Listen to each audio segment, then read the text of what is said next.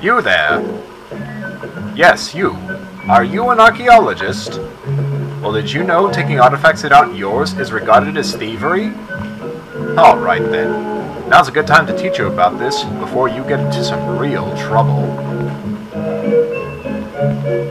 You pay attention as well.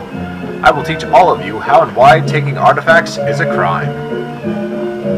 All the artifacts surrounding you were made and used by people of the past.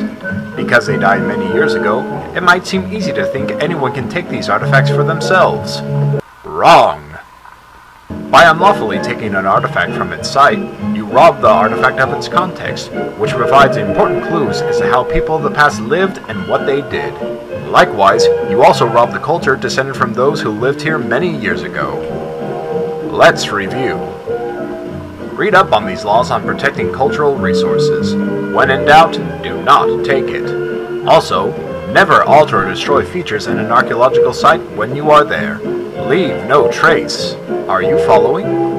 Good. Now that's cleared up, let's talk about what you can do to play your part in protecting cultural resources. If you are walking through a national park and come across artifacts, place the artifacts out of sight so another person does not find them or pick them up. Once you're done with that, let a ranger know where the artifacts are located.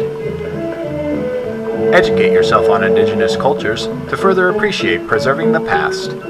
Follow up by educating your friends on the subject and tell them to never pick up items such as arrowheads or pottery. And if you come across someone looting a site or attempting to sell artifacts, report it to the authorities. Follow the law, educate yourself and your friends, and respect Native American cultures. By doing all this, you can do your part in preventing crimes on the past.